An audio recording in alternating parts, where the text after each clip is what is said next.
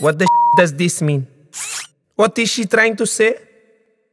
Maybe she's making a pizza or flying a kite.